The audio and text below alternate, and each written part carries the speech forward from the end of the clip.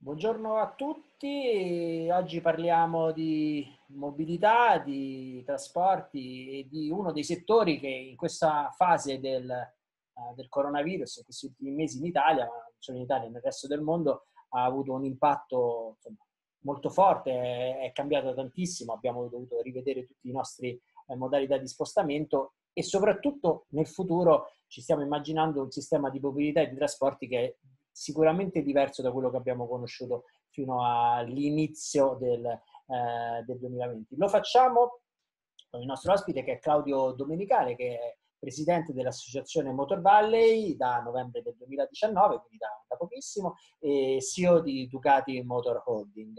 Uh, facciamo questa chiacchierata. Buongiorno Claudio. Ciao, buongiorno a tutti.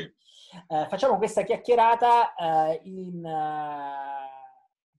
subito dopo un evento oh, importante che si è svolto oh, nei giorni scorsi, che è il Motor Valley Fest, che è un evento oh, quest'anno ovviamente per ovvi motivi svoltosi in digitale e non, eh, e non, in, maniera, e non in maniera analogica, eh, nella, nel quale si discute del futuro della mobilità, dei trasporti e ovviamente dei mezzi di, eh, dei mezzi di trasporto sotto una chiave che a noi riguarda piace tantissimo, quella della tecnologia, dell'innovazione, quindi capire come il digitale, le tecnologie, l'innovazione in generale possono entrare, possono cambiare quel mondo e disegnare nuovi trend e nuovi stili di vita, nuovi consumi, eh, oltre a ovviamente disegnare eh, nuovi, nuovi, prodotti. Um, la, l'evento è organizzato dall'associazione eh, Motor Valley di cui Claudio è presidente, quindi la prima domanda che ti faccio Claudio è, è, è un bilancio Uh, non tanto in termini di presenze di comandata, uh, su quello state già comunicando, ma capire più che altro quali sono le tendenze principali che, tecnologiche di innovazione che sono emerse dal Motor Valley Fest. Ma innanzitutto buongiorno a tutti e grazie per questa possibilità di in qualche modo fare il punto. Eh, direi che è stato eh, molto interessante anche se eh, abbiamo fatto i conti con una situazione complessa, quindi Motor Valley Fest è certamente un momento bello per eh, ritrovarsi e fare il punto. Eh, la prima edizione è stata lo scorso anno, eh, quindi quest'anno siamo appena alla seconda, ma è anche un momento bello per tutti gli appassionati per ritrovarsi e eh, sentire proprio, toccare con mano eh, queste macchine bellissime, queste moto da sogno che vengono prodotte in questa, in questa valle straordinaria che, la, la, che, si è radunata attorno alla via Emilia in cui ci sono questi marchi eh, eh, fantastici da Ferrari, Lamborghini, Maserati, Dallara, eh, Pagani e, e, e, anche Ducati. È chiaro che non avere la possibilità di avere in qualche modo il, il pubblico è certamente eh, ha fatto mancare una parte, però è rimasta eh, tutta la parte in cui ci siamo riusciti a connettere con tutto il mondo, eh, quindi abbiamo voluto anche proprio dare un segno di eh, eh, volontà. Sarebbe stato facile dire siamo al tempo del coronavirus, il Motor Valley Fest eh, non c'è, quindi lo rimandiamo all'anno successivo. E quindi credo che sia anche un segno bello da parte delle aziende della zona, della regione, eh, di Motor Valley Development, di dire ci siamo, eh, molte cose non si possono fare, eh, però se ne possono fare delle altre. Siamo stati in contatto con eh, tutto il mondo attraverso la piattaforma virtuale e abbiamo potuto offrire eh, un dibattito, credo interessante, su eh, non solo gli impatti eh, della situazione attuale, ma anche eh, una visione del futuro. E quindi ehm, credo che le cose che sono uscite con più forza siano eh, in un qualche modo che questa situazione eh, in cui si trova tutto il mondo in realtà non cambia eh, la dinamica ehm, di rapporti di trasformazione verso la tecnologia, eh, più che altro la accelera, eh, nel senso che una serie di processi che riguardavano un rapporto anche, facciamo un esempio, molto diverso con il consumatore finale di quello che esisteva dieci anni fa, in cui magari un consumatore andava cinque volte in concessionaria prima di fare un acquisto e oggi ce ne va una perché è straordinariamente più informato, diciamo che questo era già in vigore prima, come moltissimi altri processi di trasformazione digitale. Quindi diciamo che oggi il coronavirus ha, eh, se vogliamo, eh, per effetto dei distanziamenti sociali, reso eh, ancora più evidente la differenza eh, fra chi queste tecnologie ce le ha già e le controlla eh, molto direttamente e chi invece magari è ancora un po' un passo indietro. Certo, c'è questa bellissima, non so se l'hai vista, questo bellissimo meme che gira su internet in cui eh, classica slide d'azienda di consulenza, chi è che fa la trasformazione digitale nella tua impresa e le alternative sono il CEO, il CTO e il Covid. E, e forse, cioè forse, ci troviamo in questa situazione qua, no? dove c'è stato un agente esterno che non ha nulla a che fare con la tecnologia, ma che sta accelerando in tutti i settori, in quel caso nella trasformazione digitale delle imprese, ma anche negli stili di vita e nei consumi che abbiamo noi. Banalmente questa intervista senza il digitale noi non, non, riusciremo, non riusciremo a farla. Senti, um, come sì, lasciami, lasciami, però magari spezzare una, una lancia eh, eh, su una, una, una, cosa che è caratteristica della motorvata e che è eh, uno stile di vita. E quindi qui ci sono queste imprese bellissime, ma c'è anche uno spirito delle persone, c'è una bellezza dello stare insieme, c'è una bellezza della, della cultura, del cibo, una, una cultura enogastronomica. Eh, eh, credo che eh, la parte bella del futuro sarà mixare proprio queste cose, cioè la parte fisica e la parte digitale eh, in un unicum che non ha una parte che domina sull'altra e quindi credo che non appena sarà possibile eh, sarà veramente bello però ritrovarci insieme fisicamente, riassaporare i profumi, riassaporare i gusti eh, e questo eh, forse è l'equivalente eh, da un certo punto di vista dell'omnichannel nel retail, certo. no? nella vendita. Quindi non ci sarà una cosa che domina rispetto a un'altra, credo che il vero successo starà nel riuscire a eh, rimbalzare continuamente da un'esperienza digitale a un'esperienza fisica. No, no, ma infatti quando si utilizza il digitale per rimpiazzare l'analogico spesso non funziona, eh, il giusto mix sarà, anche perché ci sono delle cose della nostra vita che sono delle esperienze collettive che dobbiamo tutelare, la scuola, il lavoro, eh, andare a cena fuori, no? È una cosa che il digitale, su quello il digitale non può, non può sicur- sicuramente, eh, speriamo avere, eh, avere un abbiamo fatto, tutti, abbiamo fatto tutti in questo periodo anche gli aperitivi virtuali, no? Credo, e quindi sì, eh. però io non vedo l'ora di poter tornare a farmene uno vero. No, credo che faccia parte un po' della natura umana e noi come italiani e ancora di più come emiliani credo che questa cosa ce l'abbiamo proprio innata ed è un valore aggiunto che dobbiamo continuare a portare avanti. Senti una cosa, come cambia il settore del il futuro dell'automotive e della mobilità in un, secondo te, nel breve periodo e anche nel medio-lungo, no? Perché per esempio ci troviamo in una situazione strana, no? In cui eh, diciamo, la società, le pressioni sociali, anche pressioni positive, ci hanno sempre spinto negli ultimi anni ad utilizzare per esempio dei mezzi di trasporto pubblici.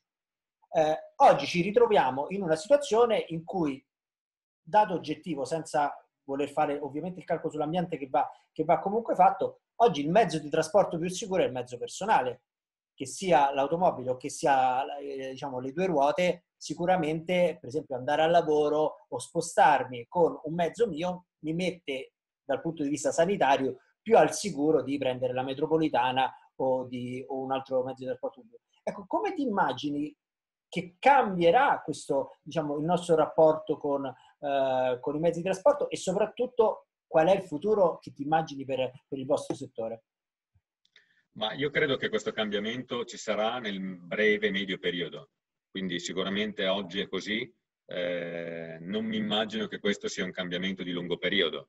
Eh, credo che l'uomo, come eh, ha dimostrato molte altre volte nella storia, troverà il modo di gestire il rapporto con questo virus, eh, che sia esso un vaccino, che sia una cura, eh, sicuramente non l'abbiamo nel medio eh, e tantomeno nel breve periodo, eh, e quindi non credo che questo cambierà i trend di lungo periodo che fondamentalmente sono legati all'urbanizzazione, quindi c'è un continuo in qualche modo aumento delle persone nel mondo che vivono nelle città e quindi nella necessità anche di avere nelle città eh, in qualche modo eh, dei mezzi di trasporto organizzati. Eh, credo che quello che eh, hai detto tu, quindi che la, la, sicurezza nel medio periodo sia totalmente eh, legata all'utilizzo del mezzo di trasporto individuale, quindi questo che ha un prodotto eh, come il nostro, quindi chi fa moto, chi fa auto sicuramente eh, in questo momento è positivo. Eh, il grande vantaggio della moto è che ti diverti pure e che si va veloci nel traffico e si parcheggia facilmente, quindi abbiamo ancora un vantaggio in più. Ehm, però credo che nel lungo periodo quello che erano gli scenari pre-Covid non siano eh, intaccati, eh, se non in un'accelerazione eh, del cambiamento digitale. E quindi con tutto, questo, tutto quello che questo comporta, eh, perché probabilmente ognuno di noi ha fatto esperienza eh, di vite e situazioni che gli hanno fatto capire che poi, in fin dei conti, eh, magari anche il lavoro da remoto eh, è una possibilità eh, molto più efficace rispetto a quello che credeva e questo impatterà anche sulla mobilità necessaria, perché certamente se all'interno di un'azienda di mille persone, anziché doversi muovere tutto il giorno mille persone per entrare in azienda, se ne devono muovere solamente 500, perché comunque eh, l'azienda vive in un modo diverso, non ci sono più gli uffici dedicati. Io parlavo con un imprenditore, mio amico, eh, proprio ieri, lui sta ristrutturando l'azienda in questo momento e sta passando eh, alla una riduzione del 40% eh, dei posti seduti e quindi eh, facendo diventare in qualche modo eh, strutturale il fatto che il 40% delle persone lavorino da remoto. Eh, diciamo che forse questo non sarebbe stato così semplice per lui deciderlo pre-Covid. Eh, Torto Collo ha fatto l'esperienza che questa cosa poi in realtà funziona abbastanza, eh, magari è molto importante controllare la tecnologia e quindi la velocità di connessione fino all'ultimo miglio, ad esempio, ehm, però eh, certamente accelera dei processi che altrimenti non sarebbero venuti così rapidamente. Sì, con, con un'attenzione anche particolare a tutta una serie di cose su cui avevamo puntato uh, nel passato, per esempio anche in ufficio, no? l'open space. Oggi è, è, un formato di lavoro, di, di, diciamo, di ambiente lavorativo penalizzato no? rispetto a, insomma, nello spazio anzi ci stiamo dicendo dobbiamo stare più isolati possibile anziché, anziché, anziché lavorare più insieme. Senti, sempre rimanendo nel vostro settore, allora eh, ci sono grandi eh, discussioni su e grandi direttrici tecnologiche, penso alla guida autonoma, penso alla mobilità elettrica. Eh, quali sono se, dal tuo punto di vista, anche rispetto a quello che avete discusso alla Motor Valley Fest, le grandi direttrici tecnologiche, di sviluppo tecnologico del vostro settore? Beh, penso che la mobilità elettrica sia in un qualche modo eh, una strada tracciata eh, in cui nel lungo periodo eh, una, dire, una, una, eh, una, direzione ormai ehm, segnata. Ehm, quello che penso che sarà ehm, più differenziato rispetto a quello che è eh, probabilmente l'aspettativa oggi è, è l'applicazione di questa elettrificazione ai vari tipi di veicolo. E faccio alcuni esempi. Ieri è stato un intervento eh, molto interessante da parte di Bosch eh, che ha portato eh, in un qualche modo, in modo evidente, eh, una serie di informazioni che però sono diciamo, abbastanza note anche all'interno eh, del settore, anche Shell, che è nostro partner nello sviluppo eh, della parte combustibile, è molto avanti in questa ricerca qua e ci aveva presentato esattamente lo stesso scenario. Le vetture elettriche, i cosiddetti BEV, Battery Electrical Vehicle, ehm, sono particolarmente adatti all'uso nelle città e, e, comunque hanno un range che spesso eh, è in un qualche modo non così esteso per farne tutti gli usi, oppure per avere un range particolarmente esteso diventano costosi perché devi imbarcare una quantità di batterie importanti e quindi eh, per alcuni tipi di settori, per esempio per il trasporto pesante, eh, l'uso delle eh, celle diventerà eh, dell'idrogeno è molto probabilmente una direzione molto più chiara. E quindi eh, l'idrogeno e le celle che producono l'energia elettrica eh, permetterà dei tempi di rifornimento molto più rapidi perché ricaricare l'idrogeno a questo punto è molto simile che ricaricare un combustibile e se l'idrogeno viene realizzato con fonti rinnovabili, cioè viene prodotto idrogeno con fonti rinnovabili, allora cella combustibile alimentata da idrogeno, idrogeno prodotto da fonti rinnovabili, è esattamente completamente carbon neutral. Certo. E la terza parte, eh, che non è così noto e dibattuto, ma è l'unica soluzione possibile per veicoli che fanno del peso eh, la variabile fondamentale, come potrebbero essere gli aerei o potrebbero essere anche le moto sportive, è il carburante sintetico prodotto con energie rinnovabili. C'è possibilità ormai molto chiara e tecnologicamente anche definita di realizzare combustibile, quindi eh, l'equivalente dell'attuale benzina o gasolio, non realizzato, eh, diciamo... Da idrocarburi, eh, da petrolio, insomma. Idrocarburi naturali e, e, che quindi poi combinandosi con eh, la, eh, l'ossigeno emette in un qualche modo eh, poi CO2, che è quello che stiamo cercando di combattere, quindi stiamo tutti andando in questa direzione della riduzione delle emissioni di CO2, eh, ma questo carburante sintetico si produce assorbendo CO2 dall'aria, in modo tale che quando poi il carburante viene combusto, quindi il comburente dell'ossigeno si rilasci di nuovo CO2, il bilancio è neutro, perché nella costruzione del carburante ho assorbito CO2 per quanto ne emetto. Il problema di oggi è che questo processo della costruzione di questo combustibile è molto energivoro eh, e quindi se l'energia la produco bruciando carbone è un processo certo. particolare poco intelligente, ma se questo combustibile lo produco attraverso energie rinnovabili, di nuovo, allora sono di nuovo in un processo carbon neutral. Per cui sarà un mix, un mix di batterie che comunque dovranno essere sempre ricaricate con energie rinnovabili, altrimenti di nuovo far funzionare macchine elettriche con energia elettrica prodotta bruciando carbone è di nuovo poco eh, intelligente come sistema, quindi eh, vetture elettriche alimentate da corrente prodotta con energie rinnovabili, celle a combustibile per i percorsi lunghi e i veicoli pesanti e le navi, ad esempio, e combustibile prodotto in modo eh, sintetico per i veicoli più leggeri.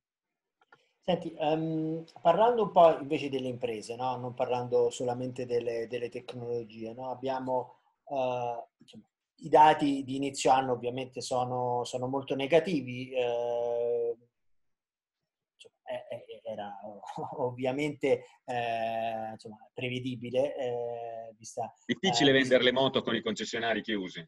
Eh sì, immagino, sì, anche le, anche le auto, insomma, ma anche perché al di là, al di là dell'apertura o della chiusura immagino che, che non sia proprio la, il primo bene da acquistare no? nella testa degli italiani. Questo, questo, in questo momento qui credo che sia anche comprensibile.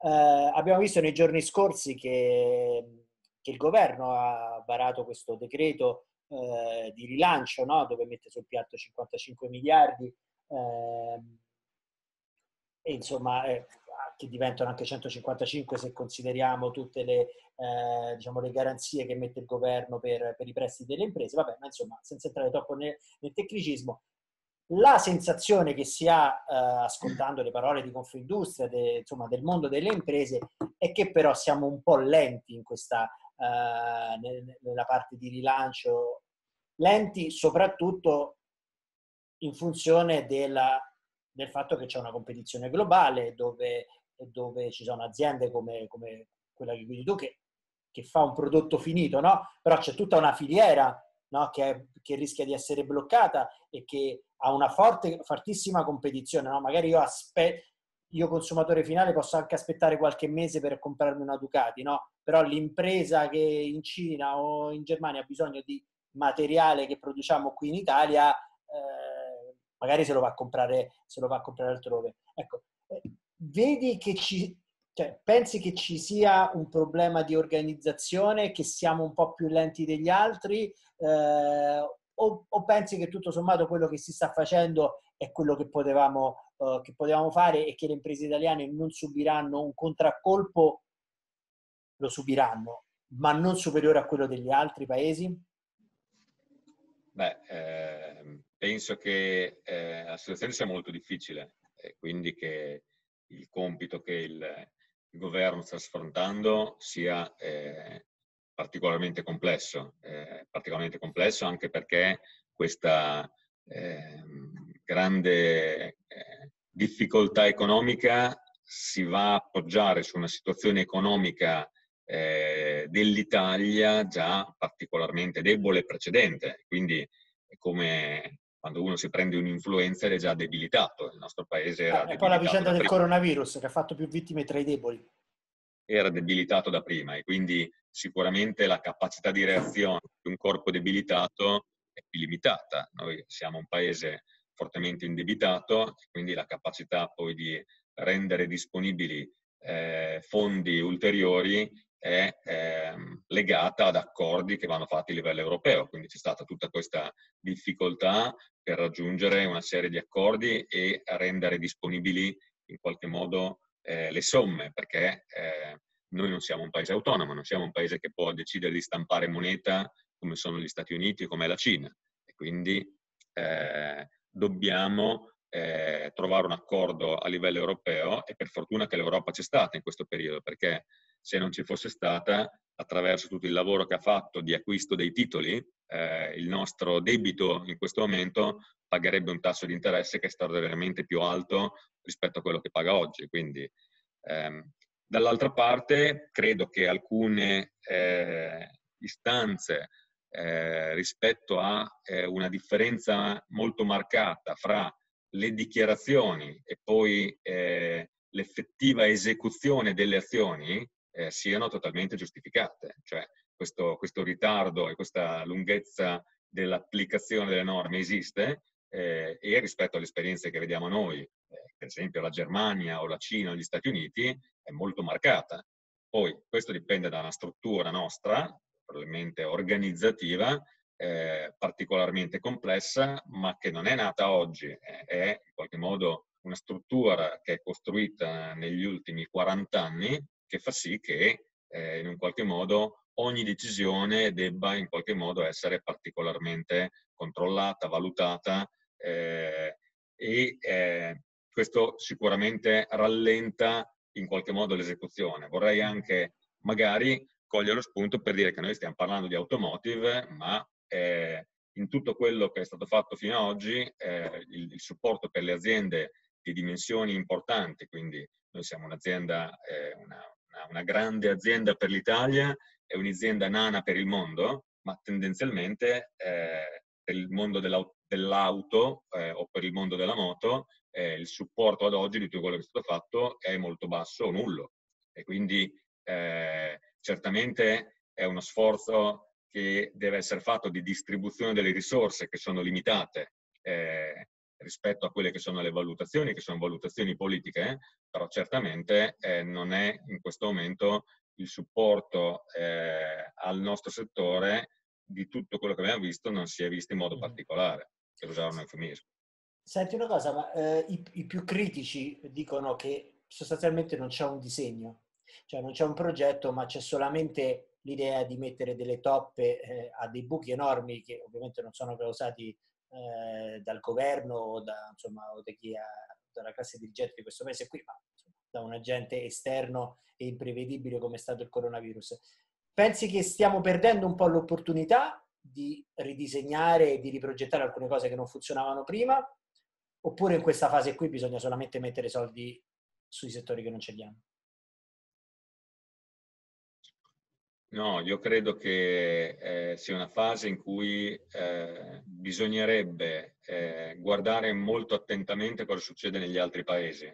Eh, la competizione è globale, internazionale. Eh, tu hai fatto l'esempio del fornitore prima, ma questo vale per tutte le aziende, anche chi fa prodotto finito come noi. Eh, noi abbiamo avuto una chiusura di sei settimane come azienda produttiva. le aziende, per esempio, in Germania non hanno mai avuto un obbligo di chiusura, eh, piuttosto che in Giappone. Eh, e chiaramente poi eh, il cliente a volte decide di aspettare, a volte no. Quindi certamente bisogna essere eh, molto attenti e porre eh, sempre ehm, la salute delle nostre persone davanti a ogni altra scelta, eh, perché per l'imprenditore in generale questa è la, è la risorsa più importante.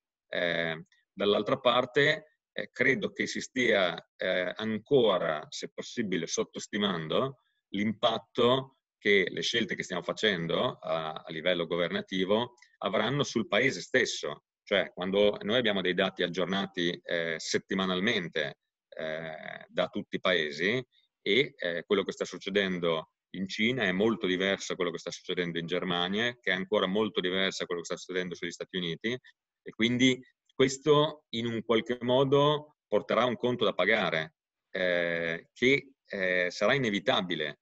E eh, quindi prima di ridistribuire delle risorse e quindi dire su quali settori indirizzare le risorse, le risorse bisogna crearle.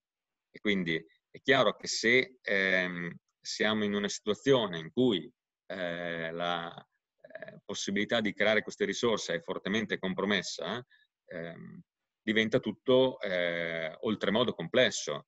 Ehm, l'industria eh, dell'automotive in Italia oggi è estremamente legata all'alto di gamma. Eh, vale la pena di ricordare che eh, oggi siamo nel 2020, 30 anni fa era era molto diverso. Quindi non sono cose che sono successe negli ultimi due anni, è il risultato di una storia molto lunga. Eh, l'industria dell'auto in Italia eh, era in grado di contribuire al bilancio dello Stato in modo estremamente importante attraverso eh, centinaia di migliaia di posti di lavoro eh, dell'industria e dei fornitori che nel tempo, purtroppo per molti motivi, si sono eh, persi per strada. È chiaro che tutto questo, eh, quando ci si confronta con paesi diversi, come per esempio la Germania eh, o la Cina, ma anche la Francia o anche la Spagna, eh, ha un'industria dell'auto straordinariamente più forte. Ma il fatto che l'industria sia forte significa che ha centinaia di migliaia di posti di lavoro, come abbiamo visto, che significa centinaia di migliaia di persone che pagano le tasse sul proprio paese, perché ogni lavoratore che è impiegato eh, nel paese è un lavoratore che poi contribuisce al bilancio dello Stato. Estremamente importante poi che l'azienda sia profittevole, perché se l'azienda è profittevole paga le tasse nel paese. È estremamente importante che un'azienda abbia la residenza fiscale nel paese e questo in Germania è sempre così, in Cina è sempre così, in Italia vediamo che ci sono dei casi in cui questo non è così. E questo, secondo me, è particolarmente negativo, perché le risorse poi lasciate sul paese sono le risorse che ci servono per gli ospedali, ci servono per le scuole, ci servono per le strade. Quindi questo credo che sia a questo punto necessario anche un giudizio da parte dei cittadini e ognuno lo deve dare secondo coscienza. Senti, un'ultima, un'ultima domanda che avevo promesso che non ti avrei rubato tantissimo, tantissimo tempo. Uh, chiudiamo con una nota, uh, diciamo, di ottimismo. Mi dici quali sono secondo te i punti di forza delle imprese italiane, in particolare delle imprese italiane del tuo settore, che dici va bene, questi sono talmente forti, questi sono talmente punti nostri per cui coronavirus, paese debilitato come l'abbiamo diciamo, raccontato, ma comunque ce la facciamo.